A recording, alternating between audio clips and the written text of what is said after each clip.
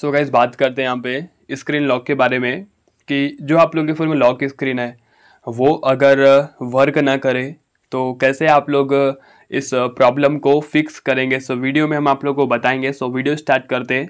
उससे पहले आप लोग हमारे यूट्यूब चैनल को सब्सक्राइब कर लीजिएगा बेल के आइकन को प्रेस कर लेना, ठीक है? सो फ़र्स्ट ऑफ़ ऑल क्या करें आप लोग? अपने फ़ोन में सेटिंग्स ओपन करें और आप लोग अपने फ़ोन के सॉफ्टवेयर अपडेट पे क्लिक करें और देखें। अगर कोई अपडेट अवेलेबल होगा फ़ौरन आप लोग को अपडेट कर लेना है। क्योंकि अधिकतर केसेस में क्या होता है कि सिक्योरिटी में बग आ जाने की वजह से इस टाइप की प्रॉब्लम आ जाती है तो आप लोग अपडेट करेंगे तो काफ़ी चांस है कि प्रॉब्लम फिक्स हो जाए।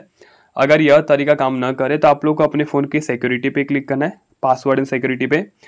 फेस लॉक हो फिंगरप्रिंट लॉक हो लॉक स्क्रीन हो तो आप लोग एक बार क्या करें, आप लोग एक बार जो पासवर्ड है आप लोग का उसको रिमूव करें, फिर से आप लोग को डाल लेना है पासवर्ड तो हो सकता है आप लोग की प्रॉब्लम फिक्स हो जाए। या फिर तीसरा सॉल्यूशन है आप लोग अपने फ़ोन में रीसेट सेटिंग्स पे जाइएगा। एंड uh, यहाँ पे आप लोग को रीसेट आल सेटिंग्स पे क्लिक करना है। मतलब कि जितनी भी आप लोग की सेटिंग्स रहती है पूरी यहाँ पे रीसेट हो जाएगी। रीसेट uh, क्यों करने बोल रहे हैं हम आप लोग कि देखिए अगर कोई भी गलत एक्टिविटी हुई होगी वो डिफ़ॉल्ट हो जाएगी। और हमारी लॉक स्क्रीन स्क्रीन लॉक की प्रॉब्लम डेफिनेटली यहाँ पे फिक्स हो जाएगी ठीक है? और आल सेटिंग्स को रीसेट करने से आप लोग का कोई भी डाटा डिलीट नहीं होगा आप लोग को निश्चिंत रहना है। सो so, इस तरीके से आप लोग अपने फ़ोन में लॉक स्क्रीन की प्रॉब्लम को डेफिनेटली फिक्स कर सकते मिलते हैं नेक्स्ट वीडियो में। जय माता दी।